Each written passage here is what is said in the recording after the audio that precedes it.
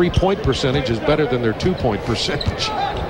That's how badly they've been shooting. That's what it is so far here tonight. Six of eight and seven of ten. Here's Vinny Del Negro. That's a three. 15-14. Spurs. Spurs in front. Jackson misses the three.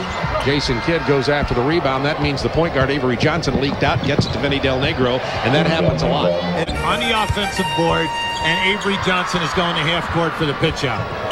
Popeye Jones, nice catch there by Jimmy Jackson. Throws up the shot attempt, falls to the floor.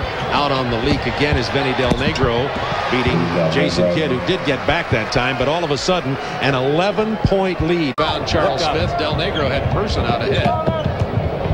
High pick and roll with Perdue. And the penetration from Del Negro draws the foul.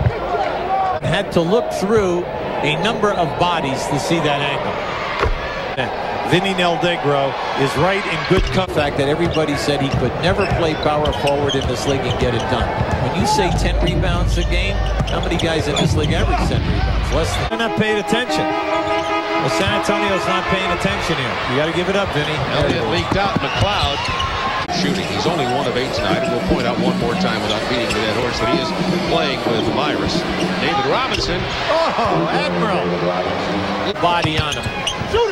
Popeye Jones got it from Jimmy Jackson. Couldn't handle it. Vinny Del Negro bounces to Johnson. Out of the low block. High screen and roll for Del Negro.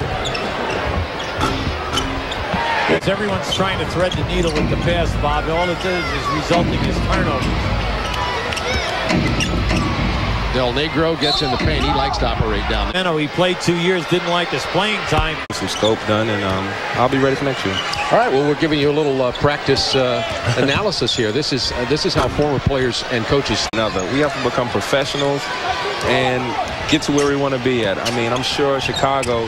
You know, it's a report Dennis doesn't even talk to his teammates. To take too much upon our shoulders. I mean, um, sometimes we get out there and it's just three of us out there. Basically, don't have anybody who can spot up and shoot. And um, I, I love playing with him. Self, you know, that he had to go through a situation like that. Such tremendous. Oh, they're third in steals.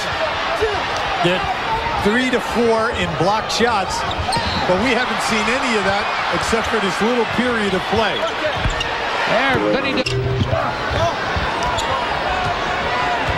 Numbers for the Spurs.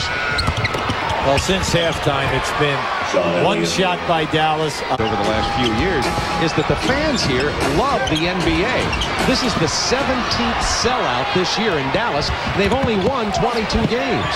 Del Well, the building holds 17,000. Like second round draft choice out of Marquette. He just came in with a vengeance and said, you know, I'm, I'm going to make it make it big. In his eight years in Atlanta, he just had a sensational career making the all-star team and the all-defensive team almost every year.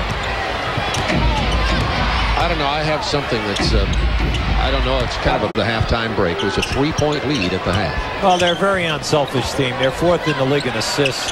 You can see they have nice ball movement, and you know it's your night when Doc starts knocking in the